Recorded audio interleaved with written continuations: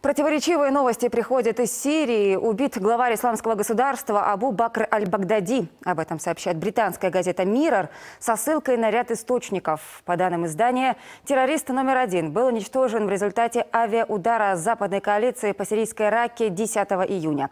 Другой источник сообщает, что аль-Багдади погиб в Масуле. Экстремист получил тяжелое ранение в результате атаки. Пентагон гибель главаря исламского государства не подтверждает. На данный момент военные военное ведомство США не располагает достаточными доказательствами о смерти террориста номер один.